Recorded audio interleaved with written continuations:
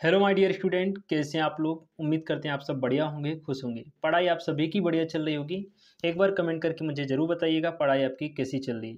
काफ़ी सारे बच्चे मुझे कमेंट कर रहे थे लाइव क्लास में भी बच्चे पूछते हैं, सर साइंस की क्लास कब से स्टार्ट होगी? हमें साइंस की क्लास करवा दीजिए। तो फाइनली अब आपकी साइंस की क्लास कंटिन्यू होने वाली हैं, ठीक है?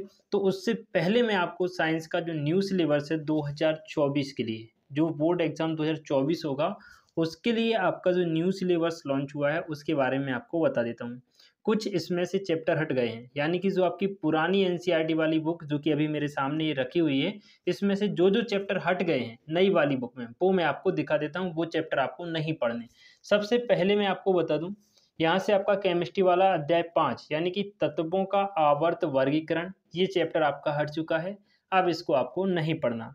इसके बाद आप आएँगे बायोलॉजी में चैप्टर नंबर जो नाइन है आपका पुरानी बुक में, जिसमें लिखा है अनुवांशिकता एवं जैव विकास। तो सिर्फ़ इसमें आपको अनुवांशिकता पढ़ना है, जैव विकास आपको नहीं पढ़ना। ठीक है? इसके बाद आप आएँगे नीचे। ये सारे चैप्टर आपको पढ़ना है, प्रकाश का परावर्तन, अपवर्तन, मानव रंग बिरंगा सरकार संसार, ये सब पढ़ना है आपको। विद्युत पढ़ना है, विद्युत विद्युत धारा के चुंबकीय प्रभाव आपको पढ़ना है। ऊर्जा के स्रोत, ये आपको नहीं पढ़ना, ये अब हट गया हट गया है।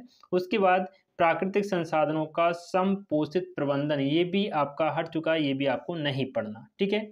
यहाँ से आपका ये वाला चैप्टर आपको नहीं पढ़ना ये आपकी पुरानी एन बुक अगर आपके पास है तो भी आप इसमें से पढ़ सकते हैं बट जो चीज़ मैंने आपको बता दी, वो चीज़ आप छोड़ देना, बाकी आप चीज़ें पढ़ सकते हैं, ठीक है? मैं आपको एक बार नई बुक भी यहाँ पे दिखा दे, दिखा देता हूँ। नई जो बुक आई है, उसमें आपका क्या पैटर्न रहेगा? आई थिंक कोशिश करता हूँ कि आपको मोबाइल में सही तरीके से दिखाई दे। यहाँ पे आप देख सकते हैं कि पहला वाला जो चैप्टर है, आपका रासायनिक अभिक्रियाएँ एवं समीकरण ही है। दूसरा देखेंगे, अम्ल एवं क्षारक लवण, ठीक है? धातु, अधातु, कार्बन एवं इसके यौगिक। अब पांचवा चैप्टर जो आपका था, धातु तत्वों का आवर्त वर्गीकरण, ये चैप्टर आपका हट चुका है, ठीक है? और यहाँ पे पांचवी की जगह आपका सीधा आ गया जैव प्रक्रम, जो कि पुरानी वाली बुक में था आपका छठवा अध्याय और न्यू वाली बुक में आपका पांचवा अध्याय। है इसके बाद आप यहाँ से आएँगे। अध्याय यहाँ पर आठ था, अध्याय नौ था। पुरानी वाली बुक में अध्याय नौ जो था आपका, अनुवांशिकता एवं जैव विकास, यहाँ आप देख सकते हैं अध्याय आठ में आ गया है और इसमें सिर्फ़ आपको अनुवांशिकता पढ़नी है, ठीक है? जैव विकास आपका हट चुका है। इसके बाद आप आएँगे, प्रकाश का परावर्तन, अपवर्तन, फिर मानव नेत्र, रंग बिरंगा संसार, फिर विद्युत विद्युत धारा के चुंबकीय प्रभाव पढ़ना है आपको, हमारा पर्यावरण पढ़ना है नई वाली बुक में, ठीक है? और पुरानी बुक में देखेंगे आप तो क्या क्या इसमें से हट गया है, देखिएगा। एक बार और मैं आपको थोड़ा पास करके दिखा देता हूँ।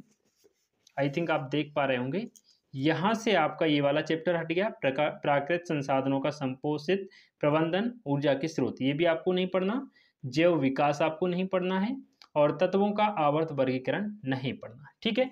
तो ये न्यू सिलेबस है, इन चीज़ों को आपको ध्यान में रख के अपनी तैयारी को करना है, ठीक है? अब बाकी रही बात क्लास की तो क्लास आपको बहुत जल्द मिलने वाली है है ना? तो अगर लाइव क्लास शायद ही अभी कंटिन्यू हो पाए तो लाइव की वजह आपको मिलेंगी भाई रिकॉर्डेड वीडियो जिसमें बेहतर तरीके से मैं आपको एक एक चीज़ों को समझाऊँगा। सबसे पहले हम अध्याय दस, यानी कि न्यू वीक में जो आपका अध्याय नौ है, वहाँ से स्टार्ट करेंगे, जिसको हम कह सकते हैं कि आपकी जो फिजिक्स है टेंथ क्लास की सबसे पहले हम शुरुआत करेंगे फिजिक्स से, ठीक है?